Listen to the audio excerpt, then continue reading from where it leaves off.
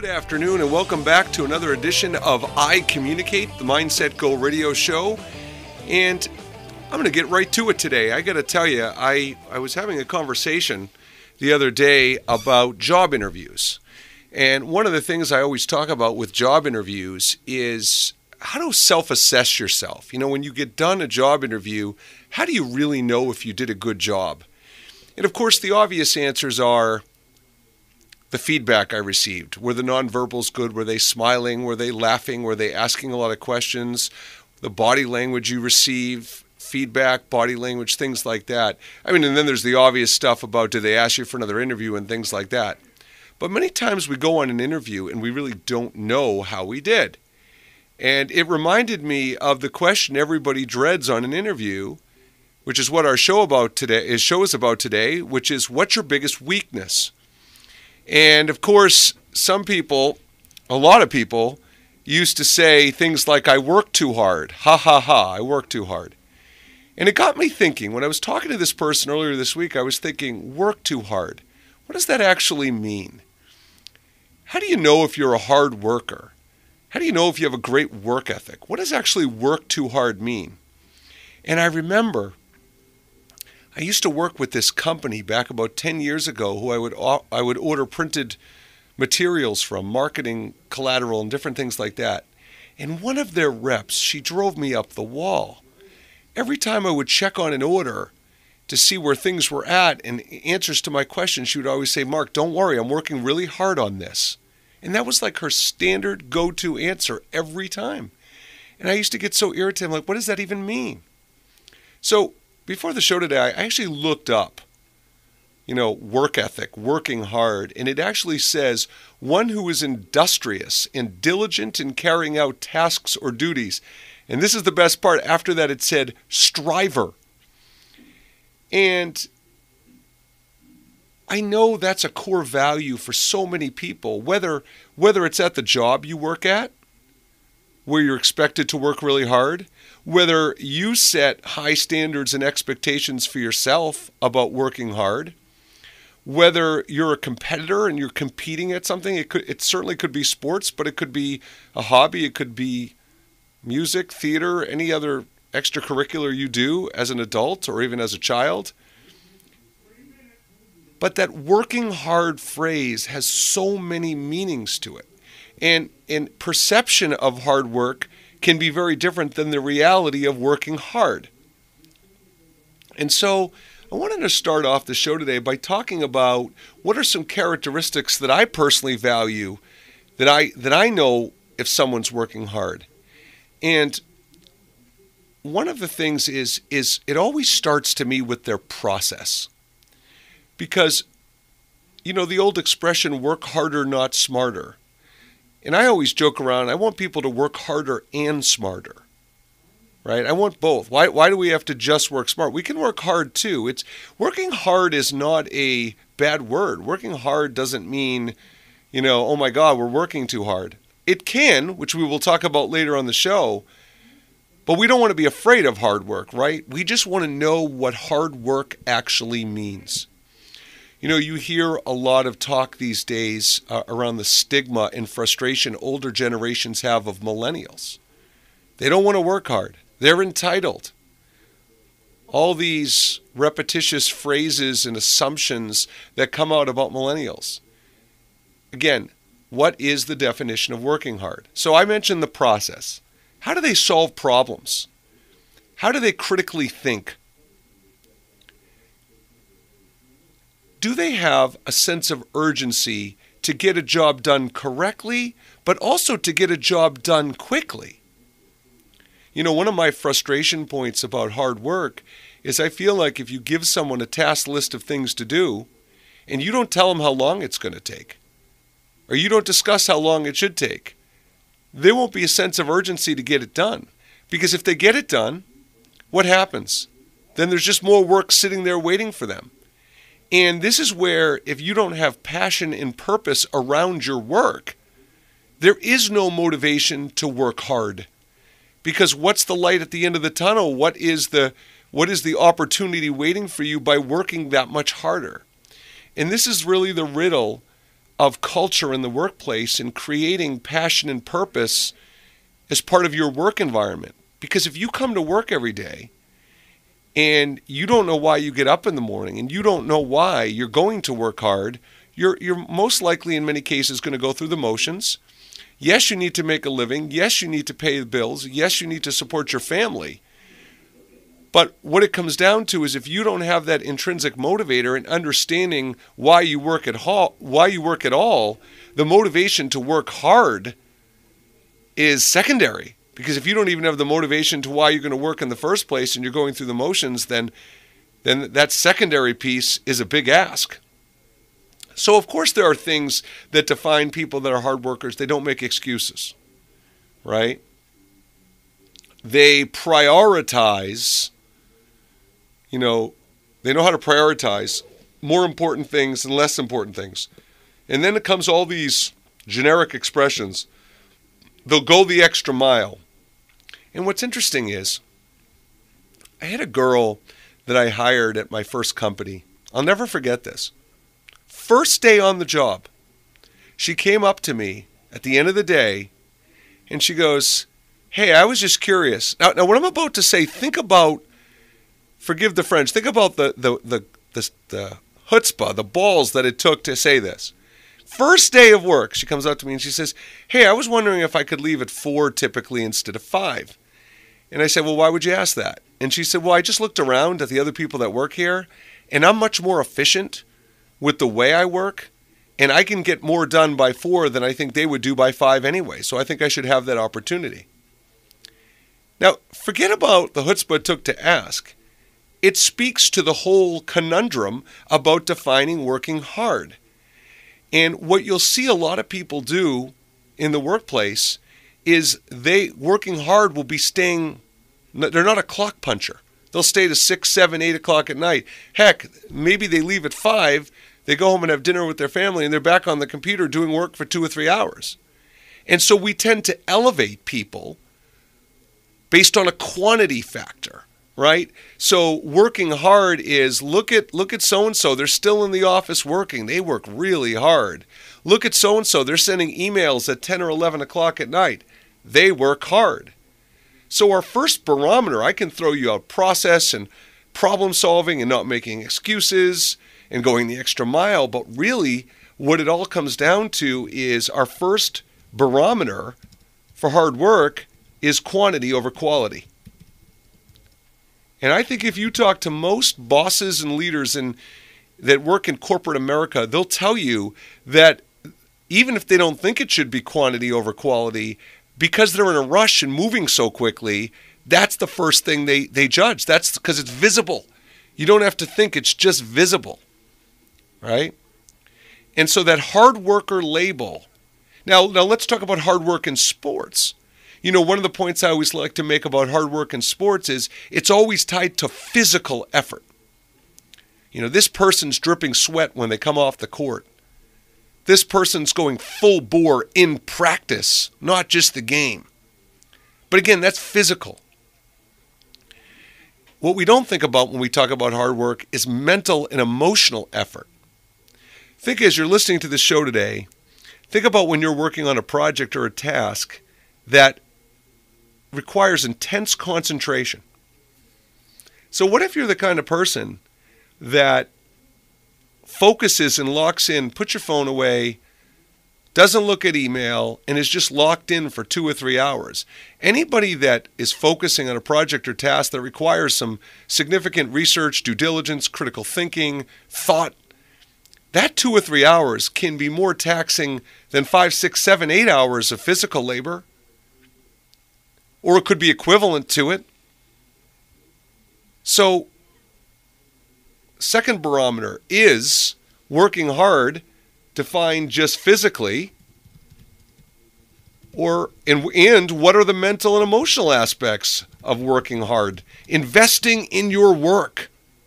How about that? Does that count as someone who works hard someone who invests in their work? And again how do you measure that you know, someone who invests in their work. And it could be because they make sure to focus and make the time to do the job effectively and the best it could possibly be done. So when we come back from our first break, we're going to continue talking about how that defining of working hard, look at some more measurement tools, and then we're going to talk about taking initiative because that's a real buzzword in the workplace. Whenever I talk about doing communication or leadership training for companies, I'll often have executives look at me and say, We want people to take more initiative. So when we come back from our first break, I will talk more about how to take initiative, measuring initiative. This is Mark Altman for the Mindset Go radio show. Welcome back to the Mindset Go radio show. I'm your host, Mark Altman. Good to be back here on a Thursday afternoon. And we're talking about defining working hard. And I'm really, my goal today is for you to listen to this show and really come away with a different perspective, not only on you, how you evaluate other people and your perception of how hard they work, but also on yourself and kind of reframing this for you and evaluating what are your core values and what are your definitions for working hard.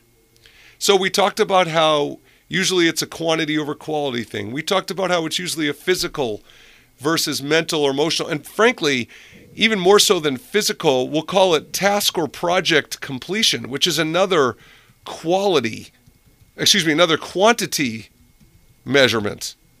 All right?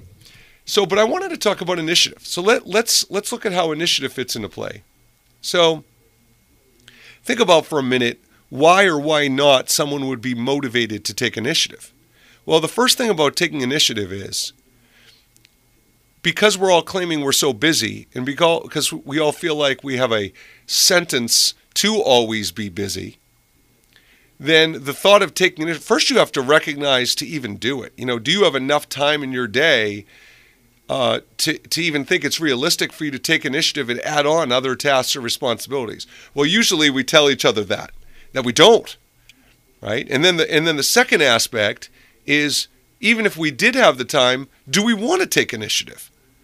Which can be very discouraging because if you take initiative, listen to all the head trash that comes into play around initiative. Well, now, if I offer to take something on for someone, will it now become an expectation? Because once I open the door to take initiative, will I be setting a precedent where people will want to start leaning on me for more and more things because they'll think, wow, if they had time to ask, geez, maybe I can delegate and unload more things on them. Right? So, first is, will you even convince yourself you have the time to do so? Second is, if you have the time to do so, do you want to set the perceived precedent or pattern? And third, there's the reciprocity aspect of taking initiative. So if I come up to you and I offer to take something off your plate or see how else I can help the company or my department or my team, well, I'm kind of hoping you do that for me. I'm hoping someone sees me someday and takes the initiative to come some come take something off my plate or maybe brainstorm and problem solve with me. And owing someone something in gratitude is heavy in personal life, never mind in the workplace. So whenever whenever an executive says to me, we, we want you to help people take more initiative, I take a totally different approach because we got to remove what's in the way. What are the things you have convinced yourself, your values, your beliefs, your workload, your assumptions about why you would or wouldn't take initiative? Right? And one of the things I've been hearing lately, which is very troubling to me, is a lot of a lot of leaders and even individuals in the workplace uh, aren't don't want to take credit for things they do. Now, I believe that the best leaders create the kind of team culture where they're not seeking credit. But the problem is there's a way to take credit without sounding boastful or bragging. And with everybody being so busy and running around in the workplace, sometimes a lot of your hard work and your innovative ideas and the fact that you did take initiative can be glazed over and missed very easily. Not even because people don't care or don't want to acknowledge it, they don't stop to think about it. And so when I think of taking initiative, the other connection point to that is recognition. And what you have very often in the workplace, now I want you to picture a scenario. Think about this for a moment. Okay? Let's say you were just working on a project with someone in your team and you came up with an idea And that idea actually spurred the project to be much better than it was, maybe even completed in a more timely fa- fashion. And you did that. Now, no, might, no one might ever give you credit for that. No one might ever talk about it. And if you sent an email to your boss and you said, Hey, boss, just wanted to tell you that project had, was a great opportunity. And, you know, I just wanted to share with you that it was a real learning experience. And, and, and as I was critically thinking through it, I came up with this, uh, with this idea, and it really spurred the project to be done better and faster, or something along those lines. So, how does a how does a boss react to that? Does a boss read that email or have you let's say you call them or you come up to them in person? Let's look at the let's look at the choices of how a boss can react to that, right? Choice number 1 is wow, that person really needs a lot of attention. Boy, for them to send me that email, they must really be thirsting for attention. Choice number 2 is wow, I didn't even I didn't even notice that, or I you know I, I forgot about that. Wow, that was a really good idea. This is a good opportunity for me to acknowledge them and rec- recognize them, and for me to slow down a little bit and do just that. And the third option maybe is to do neither, and just just not even respond, just read it and not even respond. But at the end of the day, if we're going to work hard, and if we're going to take initiative, and we're going to be motivated to do so. And we're able to overcome a lot of the other things I've talked about. Recognition and acknowledgement is a huge aspect of that. And I talked on a previous show about assumptions and intent. So when we do take initiative or when we do work really hard and we do show commitment and dedication, and it's not noticed or acknowledged, it's easy for our inside voice to say, well, why bother? They're not going to notice anyway. I'm not going to get credit for it anyway. And even if you don't verbalize it in those exact terms, you're thinking it. And so, in those situations, when you have to make a decision, and is it that my boss doesn't care? Is it that my coworkers and peers don't care? Or more, probably it's they're too busy to notice. And so, in that case, you have an option. You can you can own something you're proud of, an accomplishment. Not because you need it, because it's good to get that acknowledgement. And there's so many leaders and front facing staff in the workplace that I feel that could benefit their confidence and self esteem so much. Because what what'll happen, right, is if there's two courses of action. You advocate for yourself in a very non uh, boastful way. and if you get feedback, if you happen to get feedback and someone acknowledges that, yeah, I forgot to mention that was great. Boy, you're you're so valuable. That is such a boost to your self-esteem and boost to your motivation to continue to work hard and maintain that level of commitment. But if you don't, it can only go bad because you're going to probably make a default assumption that people don't care or they're too busy or it's expected. This is one of my favorite concepts about working hard is the bare minimum. You know, a joke I always used to make is I know the SAT is somewhat outdated in education, but you get points just for showing up on the SAT. You know, there's a starting score.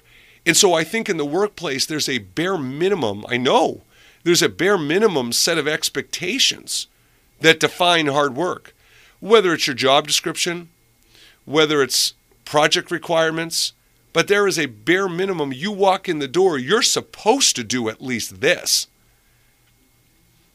And when people meet expectations and they do what they're supposed to do, for some reason, that's not often perceived as hard work because you were supposed to do it anyway. So that's not hard work. This is your job. This is what you're supposed to do. Think of a salesperson that hits their quota. You're not considered great, you're considered good. You hit your quota. You were supposed to hit your quota. If you're 5% under quota, you didn't do your job. Think about that. Let's say you're supposed to generate a million dollars in sales and you generate 500 percent you're under quota you need to work harder you need to be better you must not be working hard enough You must not be making as many cold calls and doing as much lead generation and doing as much networking. So, you know, we have these metrics that are also used to measure hard work, right?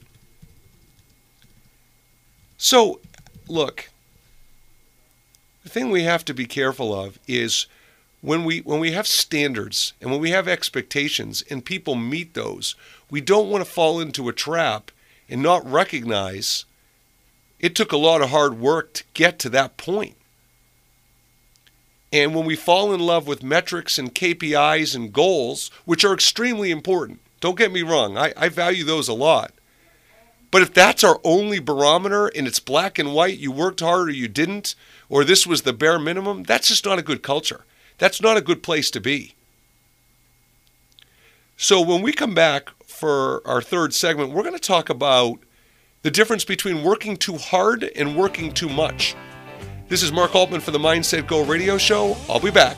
Welcome back to the Mindset Go radio show, and we've been talking about working hard and taking initiative and how to measure those things and how to create a culture around those things. And this reminds me of a story of my oldest son back when he was about, I'm going to say 12 or 13 years old. One of his chores he had to do was empty the dishwasher. And I got to tell you, you've never seen someone someone empty the dishwasher slower than this kid.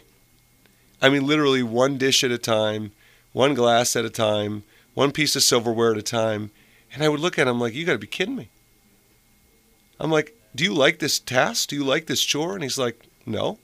And I said, well, don't you want to get things done as quick as possible that you don't like so you can move on to things you do like? He's like, I guess.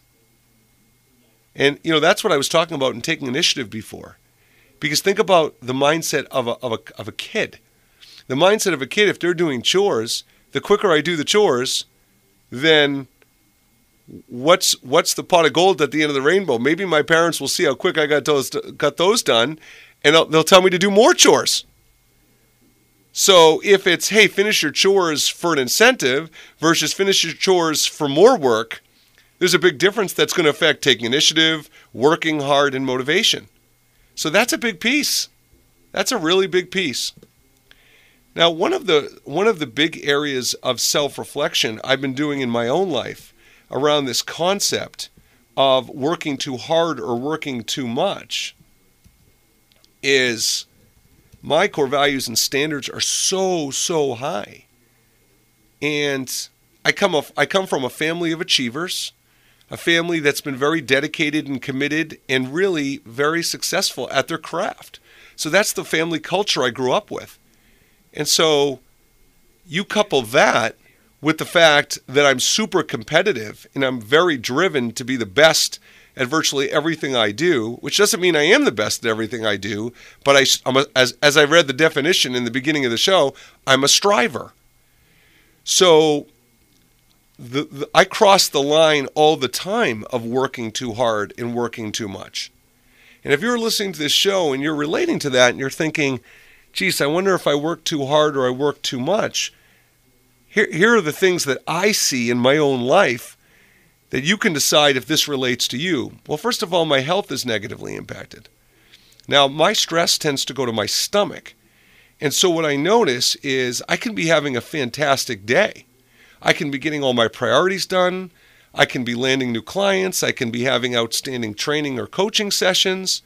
And my stomach will be bothering me. And I realized it's because I'm pushing myself mentally and emotionally at such a level where I'm forcing, I'm trying to think, I'm, I'm putting a sense of urgency on things that don't need a sense of urgency. You know, what happens if I don't get this done today? You know, what happens? And so it goes into stress. It creates stress. It creates stress in my stomach. And so there are days where I'll work 12, 13, 14 hour days and I'll feel accomplished. I've worked really hard but I work too much because the balance isn't there and it's affecting me physically, mentally, or emotionally. And the thing I don't think we all think about enough is when we work too hard versus too much. You know when you really know it's too much? It's when you're not motivated to do much of anything else. Because you've you've taxed yourself to the limit so much that when it comes to working out, even doing things you like, hobbies, going out with your friends, spending time with your family, and doing those other things, you don't really have the energy to do so because you've used all of your energy on working too much. Now, a second aspect of this for me is my work doesn't feel complete. We all can relate to the never ending to do lists. We know what that's like. The problem with the never ending to do list is it's okay to have a never ending to do list because that's life. Things are always changing, evolving, so there's always going to be new and different things to do for your personal and professional life. The problem is if you don't give yourself victories. There have to be incremental victories. There has to be a prioritization aspect because without those two things, you will keep working too much because you'll be searching for some kind of sense of accomplishment and satisfaction because you won't know when you ever feel complete. The third thing I feel a lot is when you don't want to delegate and you feel like you have to do everything yourself. And this is one of my favorite training topics is delegation. Because I think what happens a lot of times in delegation is people have a bad experience with one or two people delegating. And once you've been burned, and it's it's like listen, if a friend talks back behind your back, if a boyfriend or girlfriend or husband or wife cheats on you in a relationship, if someone steals something from you in the workplace, you know, once you've been burned, once you have that negative experience, you don't want to experience it again. So this is one of the critical aspects of delegation is once you feel like you've tried it and it hasn't worked out, can't do that again. I better just do it all myself. Because if I want to do it right, I have to do it myself. Not true. You might have to find the right person that can do it right. You might have the wrong person you're delegating it to. You may not giving you may not be communicating your expectations and directions and requirements specifically enough, which is interfering. So there's a lot of aspects that go into delegation.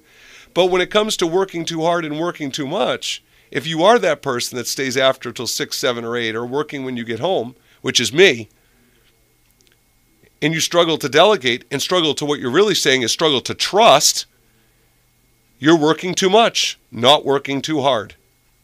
And you don't know how to set that boundary and draw the line. And, you know, the final piece on this around the difference between working too hard and working too much is you get done what you're supposed to be doing. You have that sense of accomplishment, but feel like it's not enough also. And so you start doing menial tasks or start doing tasks that aren't true priorities or tasks that other people could be doing because you don't know what else to do because you're so entrenched in working being the primary confidence, self esteem woven fabric in your life. So, look, all those things equal to one thing, and that is if you're working too much or working too hard, however you want to rationalize it or define it or compare it, your personal relationships will suffer. Because when you're working, the word T O O, working too hard, working too much, you are not going to be able to be emotionally, mentally, and physically available to work the way you want to work. And see, this goes back to what I said in the beginning. This whole segment's about quality versus quantity. So, if you're if you're evaluating and assessing your level of work ethic and commitment and standards based on quality and hours spent and tasks completed, you'll never feel fulfilled because there'll always be something else to do. And so, when you think about work ethic and when you think about working too hard, I'm asking you to use some mindfulness. I'm asking you to reframe this and think about hmm, how do I want to measure this moving forward? How do I want to pr- protect my mental, emotional, and physical health? How do I want to feel fulfilled? How do, what do I need to do to learn how to trust people? What are the steps I need to take so I can trust people and they can trust me? What are the other ways in my life I can get fulfilled besides work? And do you have the emotional intelligence and self awareness to recognize what relationships are suffering, how they're suffering, how do other people perceive the suffering, and what do you actually think you're missing out on? Maybe you haven't slowed down enough to take a step back to realize what you are actually missing out on. So working too hard, working hard, let's just let's just working hard is a great core value. And on the surface, I can't if you tell me you're a hard worker, that actually doesn't tell me anything about you. And when we come back for our final segment, I will continue to talk about just that. This is Mark Altman for the Mindset Go radio show. We'll be back after the break.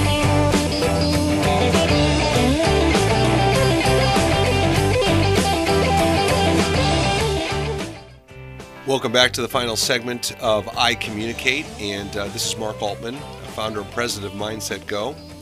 And if you are interested in learning more about the different programs we do at Mindset Go, we have programs in conflict management, we have programs in account accountability, we have programs in leadership and sales and but ultimately every program we do comes down to helping people be more confident and effective communicators. And the three ingredients to our recipe of becoming a confident and effective communicator are emotional intelligence, conversational intelligence and multi generational intelligence, which is to bridge the communication gaps in the workplace across generations. So, you know, right before we went into the break, I was talking about when someone says they work to they work hard, and I say, so so remember where we started the show today, right? What's your biggest weakness? I work too hard. Well, when someone says I work hard, they want me to assume something.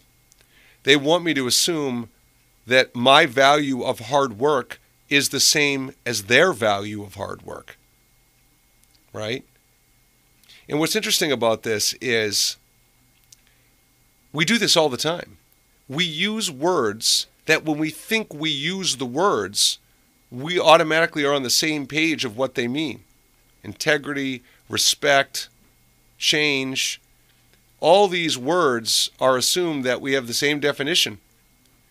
And when it comes to working hard, there are such disparate values and beliefs and perceptions around what that phrase means. Now, I'm going to share a quick story. So, my daughter had asked me the other day, she was thinking about moving into an apartment in Boston in the North End, which is really a small, for those of you who aren't in the Boston area listening to the show, the North End, the living spaces are quite small.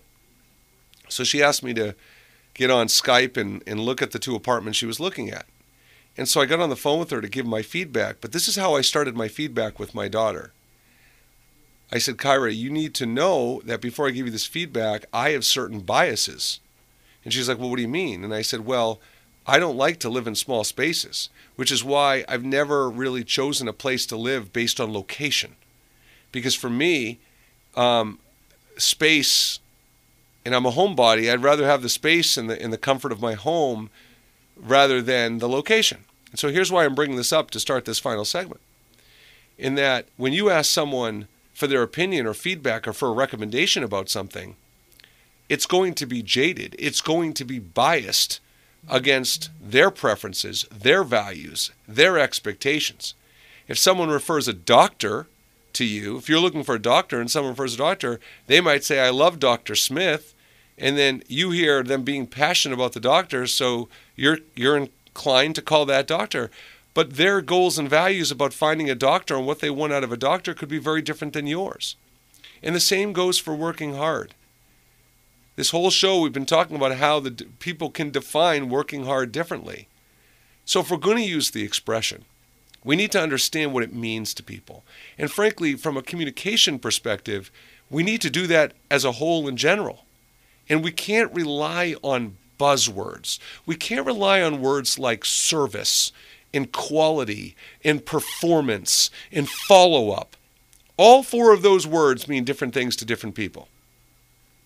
if you're a salesperson and part of your sales approach and part of the way you differentiate your company, if you're a business owner and it's part of the way you use your you differentiate your company to use those words, service, quality, performance, price, follow up.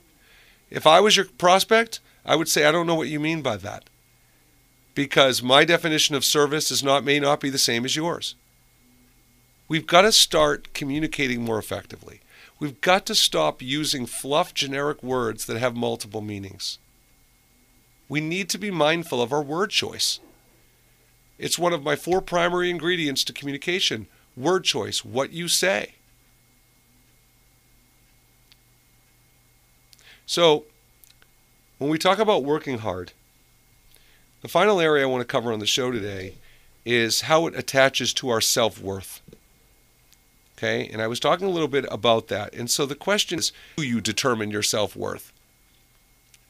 What are, the, what are the ways you measure yourself in your personal and professional life to build your confidence, to feel like you belong, to feel like you fit in?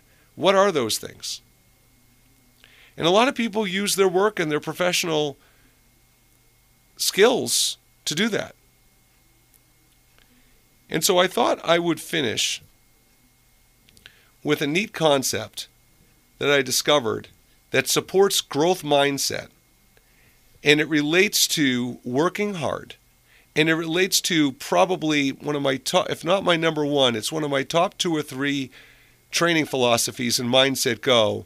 And that if we want to achieve outcomes, we've got to focus on habits, behaviors, and building processes to achieve success and to achieve the outcomes. So I recently stumbled upon a, across a concept called the effort honor roll. Okay, now think about your workplace. Think about how you reward and incentivize, or how, you, if it's not you, how you are rewarded and incentivized in the workplace. Think of the behaviors that are recognized. We know in sales, it's size of your pipeline, it's lead generation, it's deals, right? We know in management, it's often KPIs, goals, metrics. You know, we know a lot of times those uh, are related to feedback, getting great feedback from a customer or internally in the workplace. So, can you imagine if you were rewarded and incentivized in the workplace by things like this? Took initiative, offered help and resources to a coworker. All right? I mean, you take a job, and this is what you're told is how you're going to be measured. Okay? Offered help and resources and took initiative. Okay? Asked for help. Didn't waste company time and money. And you ask for help. You try to problem solve and critical think on your own. But every time you ask for help, that's recognition for that. Because I have something called the 15 minute rule I want you to use the resources that you have. I want you to use uh, SOP, standard operating procedures, knowledge you've built. But if you don't have the answer, I don't want you to spin your wheels. I want you to ask your help. I want you also to be rewarded for motivating people. Every time someone was struggling through a project and working through, you motivated them and you got them past an obstacle or a stumbling block. Either it was inside of their head or it was an outside their head.